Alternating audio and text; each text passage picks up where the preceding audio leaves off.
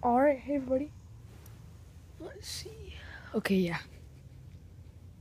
Um, all the black tree monitors are out. The male is always right there, pretty much. The new female.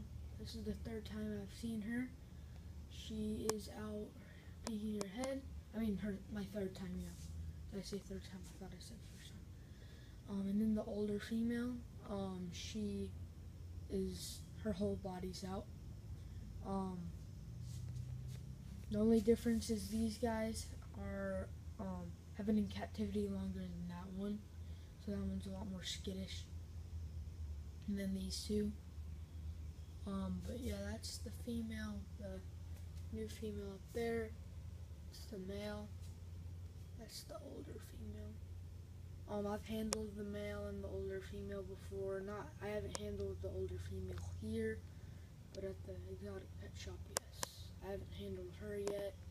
I'm not planning to until breeding season is done. But yeah, that's all I wanted to show you. So yeah, thanks for watching and subscribe. They are eating fine and yeah.